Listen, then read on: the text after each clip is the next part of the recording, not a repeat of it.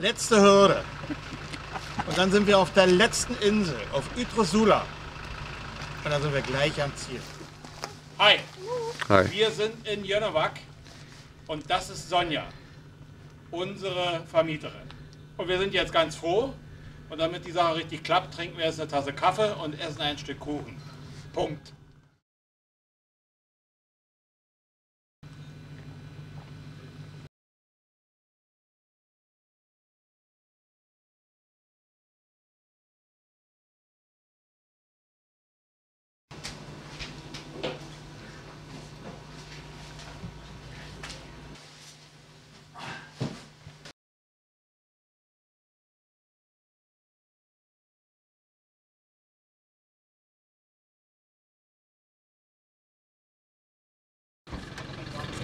This one?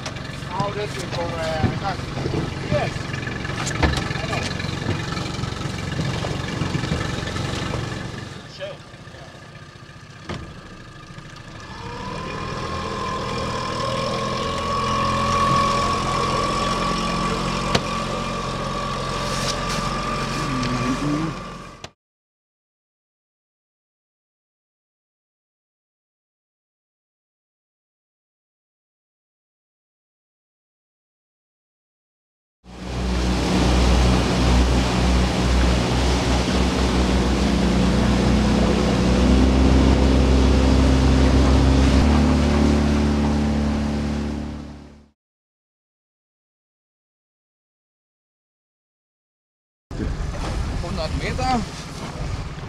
Naturköder, 300 Gramm. 10 Flattermann aus dem kleinen Köder. Abgelassen, Biss. Jetzt sind wir gespannt, was das ist. Da ist er. Hier sind wir hergekommen. Ja, gut lange.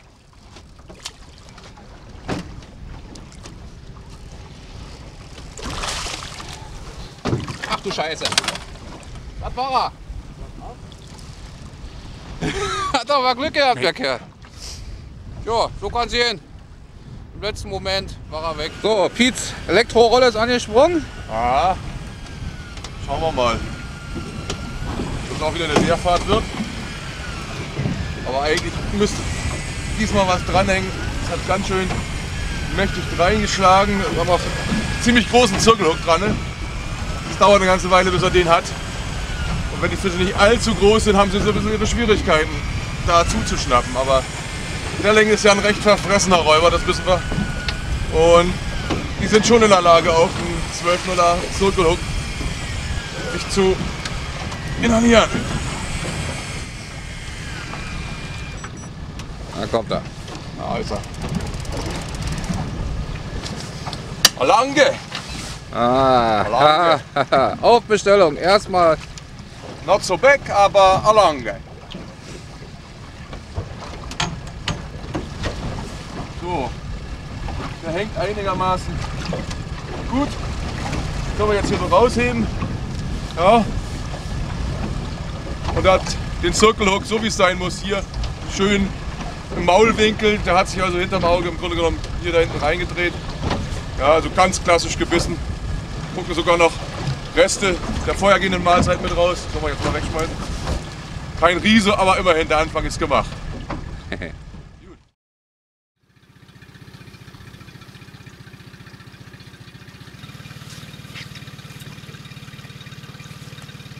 Auf zum Eis. Ostersonntag auf Ytrosula.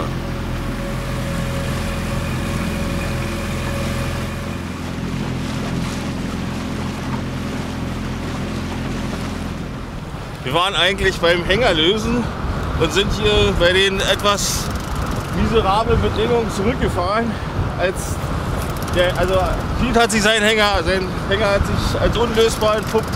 Einer kam irgendwie nach einer gewissen Zeit und dazwischen zuppeln hat mir gezeigt, dass er irgendwie auch noch ein Fisch dranhängen muss. Wenn wir uns das mal angucken, die Schuhe, weil wir jetzt nicht damit gerechnet haben, sind wir sehr spät eingestiegen, aber hoffentlich noch nicht zu spät. Irgendwie hat sich da bei dem Hänger oder irgendwie was auch immer hier in 130, 140 Meter Tiefe doch irgendwas in Köder gegriffen. Und wollen wir hoffen, dass wir hier nicht nur ein Stück Koralle dran haben, sondern vielleicht noch mal einen anständigen Längen oder sowas. Und es ist ein Längen. Nicht so ein großer, aber immerhin ein Längen. Und darunter hängt die Koralle. Naja, das ist natürlich auch wieder eine Mischung, wie wir sie kennen. Wissen wir wenigstens, wo wir unsere Bisse hatten, aber wo auch die Fische stehen hier. Ne? Also hier die Korallen.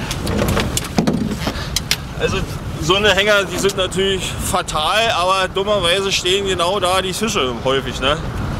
Weichkoralle natürlich bitterböse, wenn man da drin hängt. In dem Fall Glück gehabt, die ist abgebrochen. Aber wenigstens hat uns diese Aktion noch einen halbwegs vorzeigbaren Längen beschert. Bleib ganz ruhig, Junge. Der alte Mann und das Meer.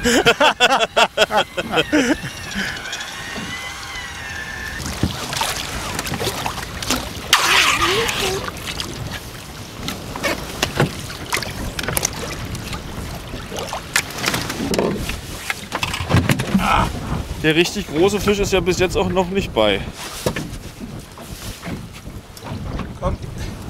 Also, wir haben gerade beschlossen, wir brechen ab. Wir haben alles gegeben, was hier für einen Ostersonntag möglich war. Sagen wir mal, zum großen Glück war die letzte Drift wenigstens nicht total erfolglos. Ihr müsst irgendwie noch einen Lump oder sowas dran rumschwören. Ein Lump. So, nicht völlig erfolglos, aber jetzt ist Schluss hier mit dem Spaß heute. Wir machen uns nach Hause. Ja, was machen wir hier? Wir holen einfach Weihnachten nach zu Ostern. Das Wetter ist heute sehr durchwachsen. Wir hatten den ganzen Tag mit der Schneefall. Es ist auch sehr windig. Eine gute Möglichkeit, unsere Montagen ein wenig vorzubereiten. Äh, Ich will nicht übermäßig viel dazu sagen, äh, nur so ganz grob. Also es geht ja auf Längen und wir werden da so Tiefen beangeln zwischen 100 und 300 Metern. Und die meisten wissen ja, dass man sich zum Naturköderangeln ein paar spezielle Vorfächer vorbereiten sollte, dass man nicht so viel suchen muss, wenn es da draußen im Boot schaukelt und so weiter und so fort. Kennen die meisten und wir wollen das auch nur ganz kurz vorstellen. Es gibt ja unterschiedliche Techniken und der Fantasie sind ja da kaum Grenzen gesetzt. Äh, hier nochmal die Vorfächer, also wenn man jetzt unterscheidet in Nachläufersysteme bzw. Endbleisysteme, dann wäre das also ein Nachläufersystem. Das Blei ist vor den Haken.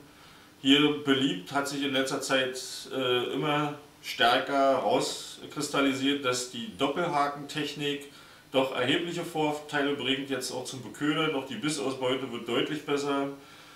Dann äh, noch ein System einfach zum Einhaken wird dann also entsprechend hinten an der Montage befestigt, sodass in, hier vorne also Blei ein Einhänger ist und das System hier noch garniert mit einem Spinnerblatt und einem Draht zum besseren Halt des Köders. Also einfache Sache im Grunde genommen. Und hier noch eine Montage mit Endblei Selbe System, Haken, ein wenig Draht zum Fixieren Allerdings muss man den auch nicht unbedingt haben, wenn man jetzt also mit frischen Ködern angelt, wie beispielsweise Seelachs äh, oder auch Lumpfilet. Die halten so sehr gut auf dem Haken, die muss man nicht nochmal extra fixieren. Ja, ich will jetzt noch mal ganz kurz zeigen, im Grunde genommen, natürlich können sich viele auch äh, im Handel bedienen. Es gibt ja eine Reihe von Vorfächern äh, zum Naturköderangeln zu kaufen. Ähm, wir, ja, oder ich selber, ich bevorzuge, dass wir sowas äh, mit einfachen Technik selber zu machen, weil man doch äh, einen ganz Teil Verluste haben kann im hängerträchtigen Gebiet und so. Da kann es natürlich auch schnell ins Geld gehen und es ist relativ simpel, sich ein paar Vorfächer selber zu fertigen. Ich selber angel meistens mit Endbleitechnik. Es ist einfach weniger hängerträchtig und vor allen Dingen, das ist ja das zweite wichtige Kriterium, ähm, dass die Montage nicht allzu viel Hänger produziert. Erstens und zweitens, dass es sich möglichst nicht verheddert. So, einfache Sache. Wir haben hier also monophile Schnursteigen. Ich tausche lieber aus, man kann natürlich auch 1,2, 1,5 mm nehmen. Ich nehme selber meistens 0,9 oder 1 mm die fliegen sowieso meistens am Abend wieder in den Müll und dann kann man also entsprechend sich etwas vorbereiten. Ich selber nehme lieber längere Vorfächer, das, weil die Pufferwirkung dann deutlich besser wird, aber man kann natürlich auch äh, mit 2-3 Meter Vorfach arbeiten. Und das sieht dann folgendermaßen aus. Im günstigsten Fall kann man sich dann die Haken entsprechend einschlaufen.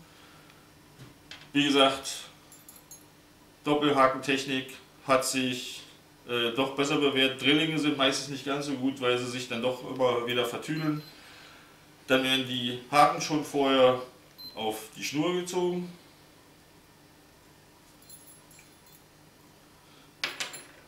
Zwei Anbissstellen machen immer Sinn.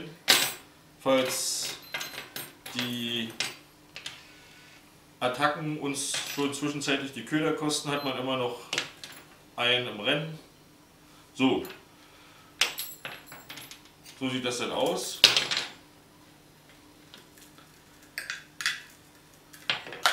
Die Haken werden eingebunden mittels der Schlaufenacht. Sieht dann so aus. So, wenn das also ca. 15 cm sollte der Abstand zur Hauptschnur sein.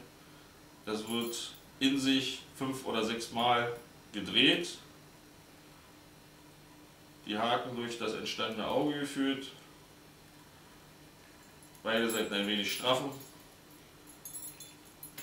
Schon ist eine Anbissstelle fertig.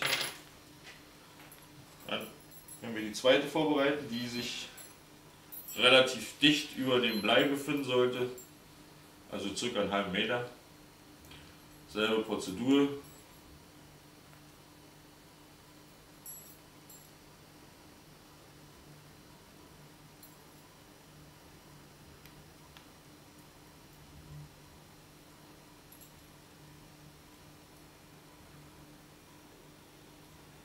So.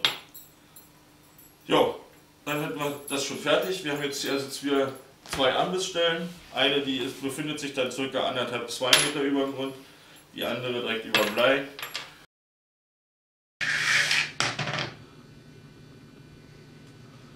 So, also eine gute Montage für sehr große Fetzen oder ganze Köderfische.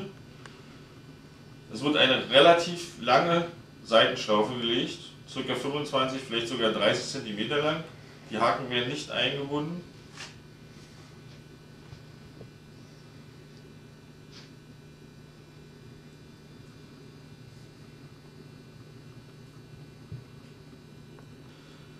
Auf diese Seitenschlaufe wird zuerst ein Stück Silikonschlauch gezogen.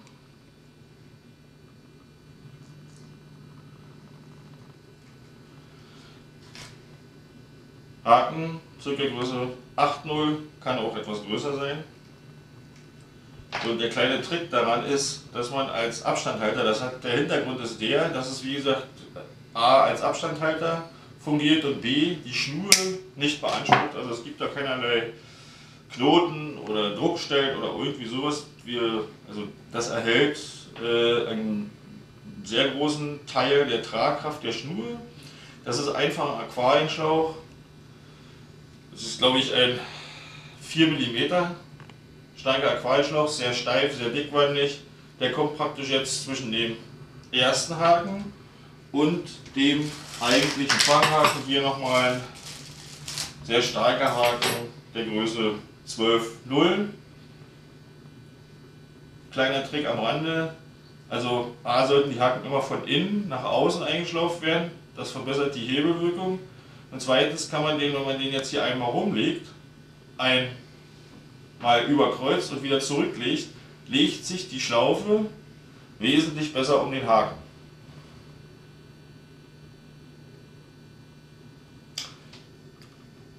Dieses kurze Stück Silikon hat also die Funktion, den Hakenschenkel hier dicht an der Schnur zu halten. Der kann jetzt hier nicht mehr dicht daran rutschen, die Haken behalten. Also diesen Abstand kann man ja ganz leicht dadurch variieren, wie lang man den Aquarienschlauch hier wählt. Nur nochmal kurze Vorführung. Der vordere, äh, durchaus kleinere Haken äh, eignet sich am besten dazu. Jetzt hier soll der Gummifisch mal als Beispiel dienen, den Köder hier zu fixieren.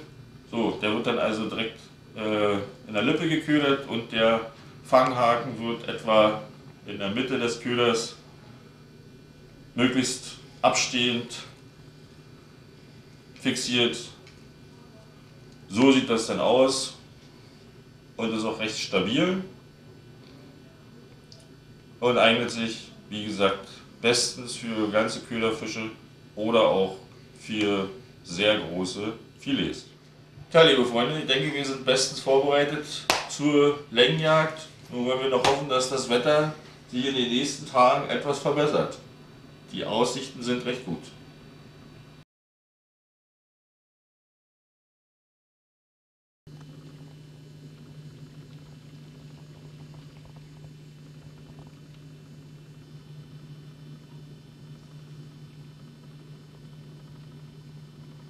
Wir haben jetzt hier so um 130.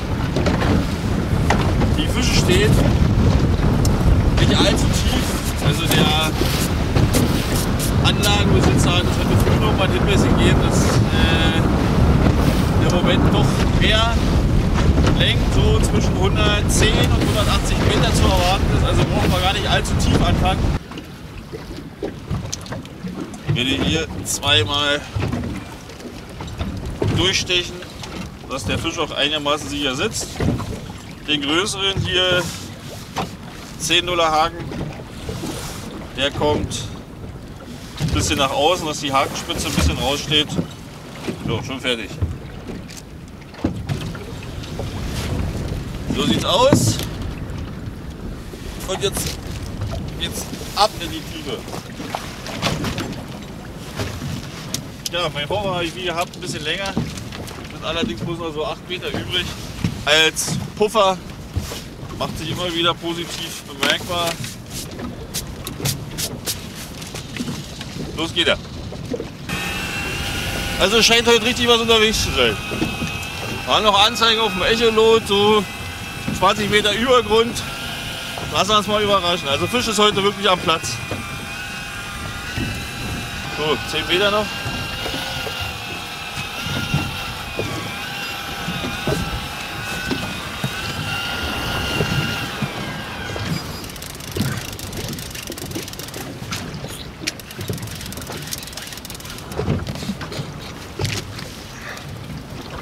Ja.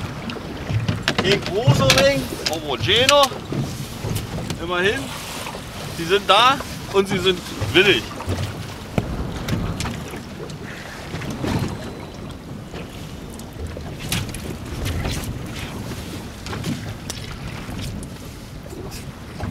Na denn, Petrial. Schönes Teil. Wollen wir mal sehen, so geht es aber hoffentlich weiter hier.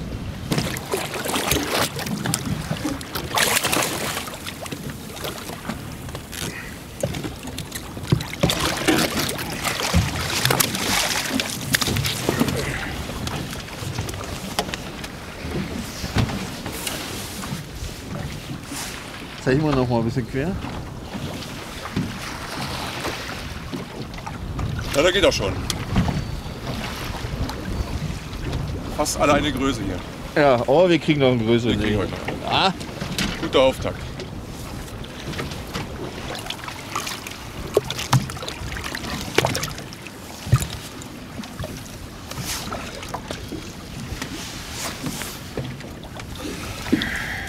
Einheitsgröße hier. Ach, hier sind noch größere. Das Stück von Angel ist gleich weg. Okay. so krumm war die bis jetzt nur einmal. Nämlich vor 20 Minuten. Aber der ist leider nicht hängen geblieben, der Fisch. Ich denke mal, dass schon ein ganz anständiger jetzt wird. War nichts zum Drillen, aber der ist schon ganz handlich.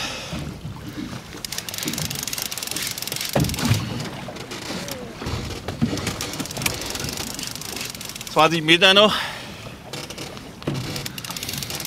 Macht sich noch ein bisschen schwer.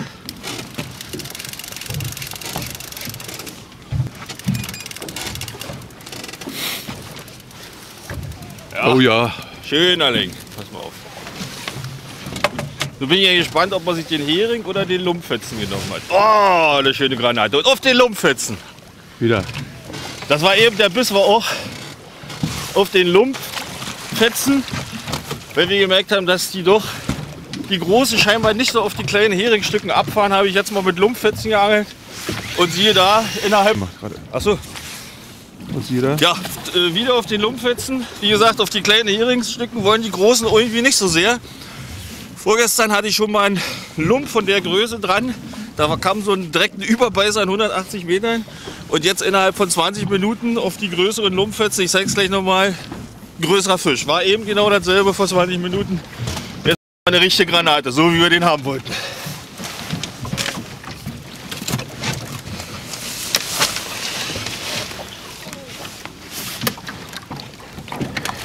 Oh, guck ein.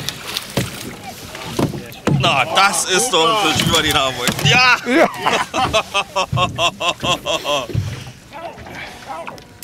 Schönes Teil. Schöne Zeit.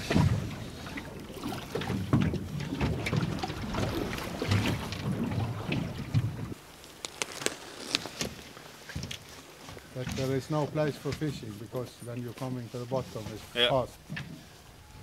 It's not so easy.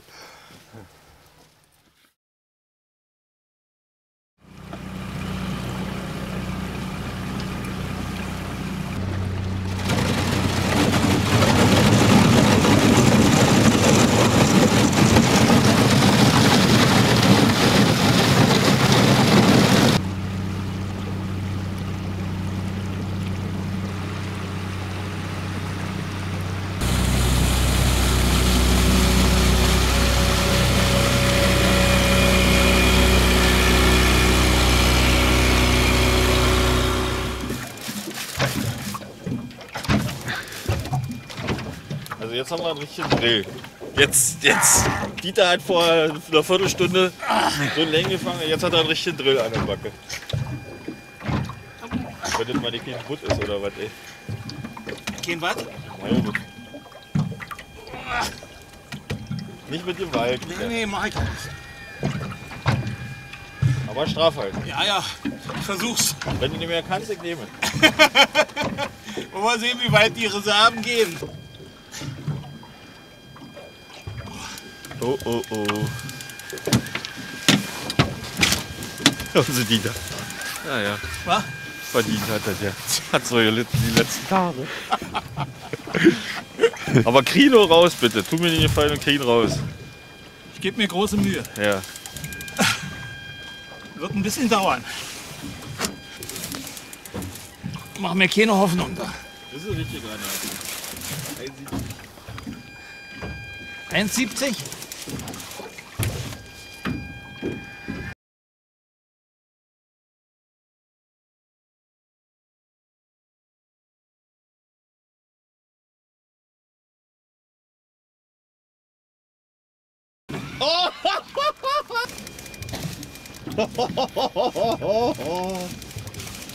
Alte Scheiße. Ja. das ist eine Granate! Scheiße, Alter, ey!